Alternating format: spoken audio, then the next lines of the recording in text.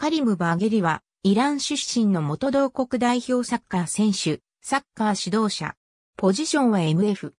イングランドのプレミアリーグでプレーした最初のアジア人選手である。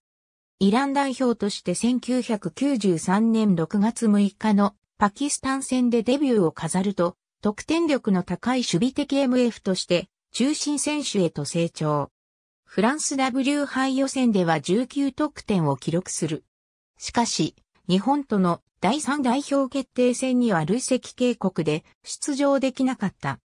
オーストラリアとのプレーオフ第2戦では、2から0のビハインドから追撃の1点目を決め、2から2の引き分けによるアウェーゴールルールでの予選突破に貢献した。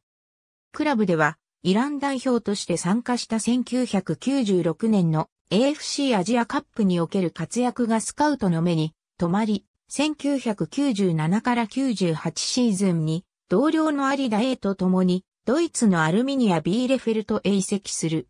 クラブは翌年に2部へ降格するがそこでリベロを担当するなど、プレーの幅を広げた。その後は、イングランドのチャールトンアスレティック FC を1試合出場したのみで、対談するなど、不運もあったが、2002年より故国のピルズイテヘランプレー、2009から10シーズンには、リーグで自身初となるシーズン10ゴールを達成した。2010年に現役引退。2008年11月長らく遠ざかっていた代表に、ワールドカップ予選の UAE 戦で復帰した。ありがとうございます。